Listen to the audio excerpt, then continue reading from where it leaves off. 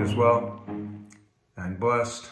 And uh, may God bless all of you. Thank you for watching the video. And I would ask you to please, if you haven't already subscribed to my YouTube channel, please do so. And um, please share it. Okay, very important. Choices. The word choices. It brings me to my weekly recap where there's a specific case, a specific client that I want to discuss. This client saw me maybe six months ago, maybe a bit less, a bit more. The exact timing is not important. What is important is we had a, a session in my office. It was a consultation where she had come to see me because things were not going right. She was a spiritual, spiritual person and she felt something was very, very off. I confirmed it. I discussed uh, particular details and specific, what she was going through, what she had. Uh, she had an entity that, uh, that had possessed her, and uh, she knew it deep down. And said, so when you're going to book your, your appointment to get this taken care of, because I need to properly uh, prepare. I wasn't going to do it on the spot. Okay, I'll get back to you as soon as I'm ready. And I'm thinking, what do you mean when you're ready? It's got to be, it's got to be done. The longer this thing is there, the more damage it's going to cause. Emotionally, physically, psychologically. Okay? Etc., etc. Spiritually. Fast forward now, whatever it is, about six months, she finally gets back to me. And I had touched base with her a couple of times in between. Hey, are you making an appointment? This is this is a dangerous situation. I'm not sure. I have to think about. You know, I'm thinking to myself, well, what is it you need to think about? It's not like the price is exorbitant and uh, crazy and you can't afford it. Okay? Not even close. The opposite. It's actually dirt cheap compared to the service that's being offered. So what do you have to think about?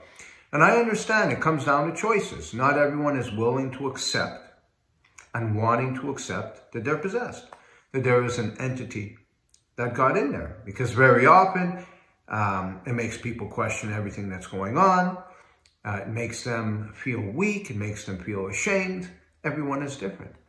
Okay, but it happens to many, many, many people, and even some very, very holy people and even saints ended up getting possessed, and many who weren't possessed were still attacked by uh, by demons and evil entities, unclean spirits, as we call them. Okay, dibukim, as we say in Hebrew, and shedim, demons.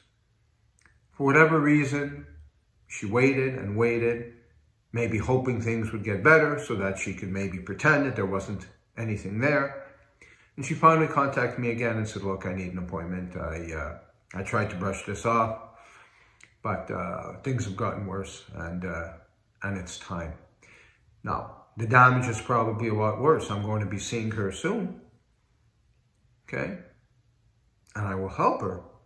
But that extra six months, give or take, that that demon's been inside her, God only knows the additional damage that's been done physically, psychologically, emotionally, and spiritually. I know she said physically she's gotten a lot worse. Well, obviously. Okay? Someone who has a disease, the longer it's there without them trying to, uh, to cure it, the worse the situation is going to get. It's normal. Okay? It all comes down to choices. We have free choice and we have free will. And um, this is really, really what it, what it comes down to. What are we going to choose to do? And it brings me actually to the most important and main topic of this video, which is still about choices. But I used the recap of my week to bring us to this point.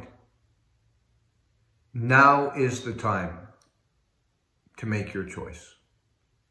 Will you stand with God?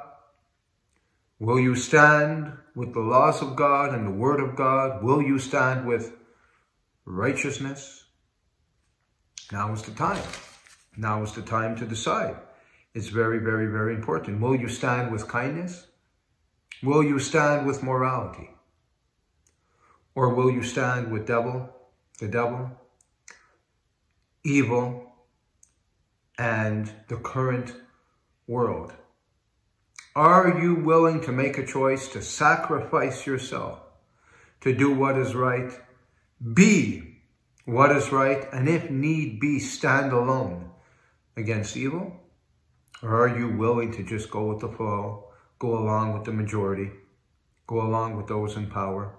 Because the final battle is fast approaching. And even some of the biggest Kabbalists right now in the world are indeed coming out and saying the same thing. We've arrived. The time is now. If you haven't yet made that choice, make it. And if you made the wrong choice, there is still a little bit of time to reverse that choice and go back to God. Go back to God, develop a relationship with Him. God Almighty, directly God. There's no intermediary. Okay?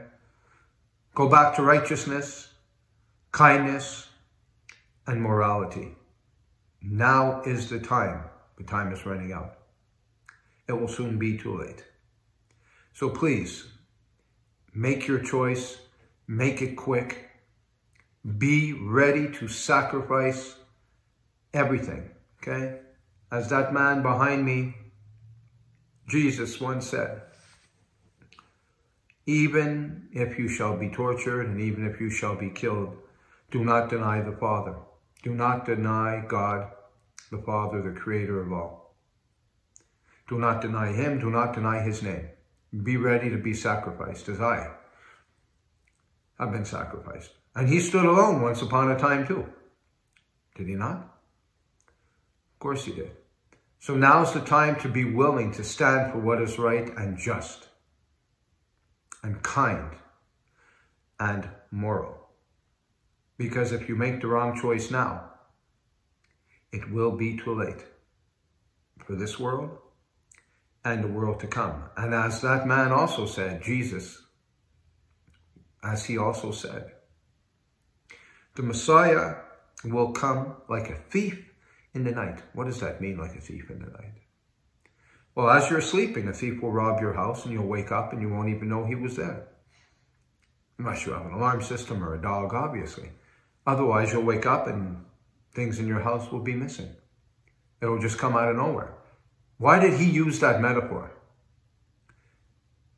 What he was trying to tell you is that if you wait until tomorrow, it may be too late. You may wake up and the Messiah will already be here and then it will be too late to make your choice. Please make your choice now and make sure it's the right choice because you are running out of time. May God bless you, God Almighty, Hashem HaKadosh, Baruch Hu, Melech HaOlam, Melech Yisrael, Ribono Shel Olam, Adonai Hawaya. May the creator of everything that ever was, is, and ever will be give you the strength and the blessing to make the right choice and go back to him. Jarred out.